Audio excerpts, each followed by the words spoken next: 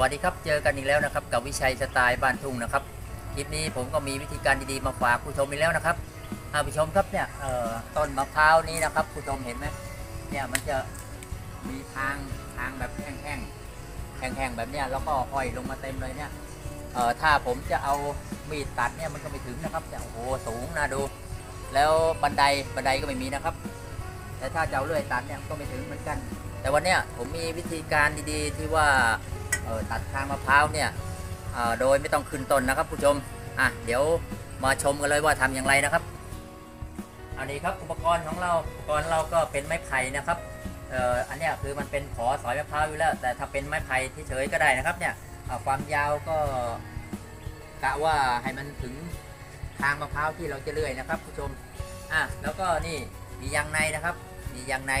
มอเตอร์ไซค์แล้วก็เลื่อยนะครับ ผู้ชม อะ มาดูวิธีทำกันเลย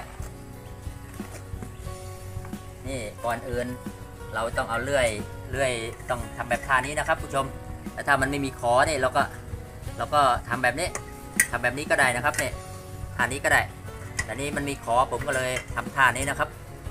อ่าเดี๋ยวผมจะมัดก่อน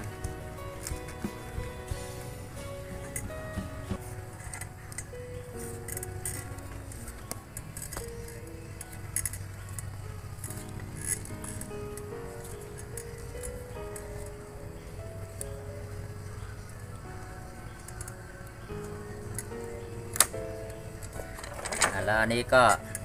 นี่ผมจะมัดปลายมันนะครับ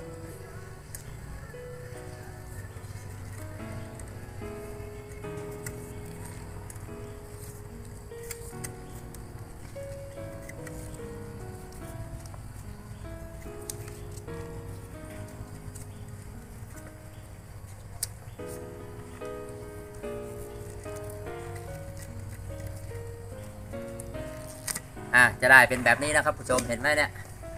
อันนี้อะเราไปดู ไปดูที่ต้นกันเลยนะครับ ว่าผมจะตัดยังไงอะไปกันเลยอะเดี๋ยวเราจะเลื่อยตรงนี้นะครับผู้ชมนี่นะก็อะอันนี้ต้องเลื่อยได้วยเพราะว่ามันติดสายไฟนะครับนี่ก็เลื่อย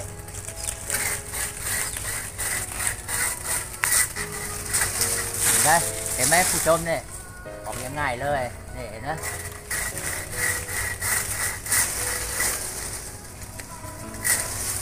ไหมผู้ชมเนี่ย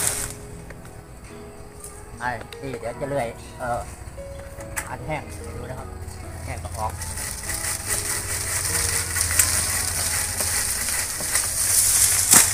อ่าเห็นไหมผู้ชม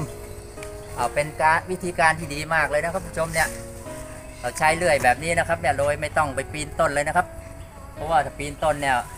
มันก็เสี่ยงนะ เสี่ยงแบบตกต้นหรือว่าบางบางคนเนี่ยขึ้นต้นไม่ได้นะครับผู้ชม